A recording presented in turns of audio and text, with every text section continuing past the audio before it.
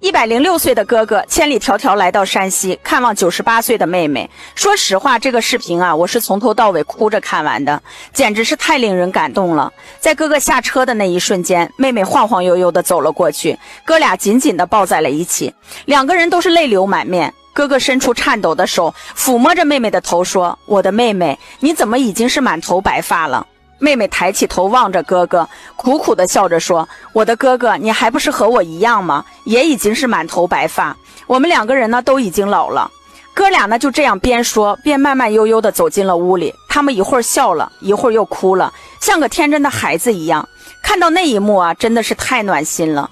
就在哥哥要回去的时候，他紧紧地握着妹妹的手说：“妹妹，老家的路呢，我可能是最后一次走了。”一旁的妹妹早已经是哭红了双眼。上车以后，哥哥再也忍不住了，他放声的大哭了起来，因为他心里明白，他这一走，跟妹妹将是永久的离别。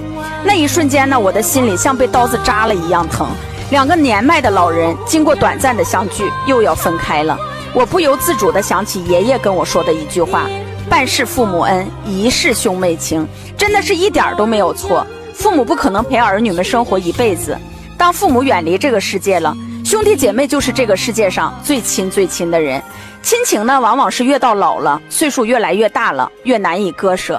每一个兄弟姐妹，就是父母这辈子留在世上最珍贵的礼物，它是无价的，是用金钱、用名利换不来的。俗话说得好，剪不断的是手足之情，割舍不掉的是血浓于水。屏幕前的家人们，让我们好好珍惜现在所拥有的这份手足之情吧。人生短暂，且行且珍惜。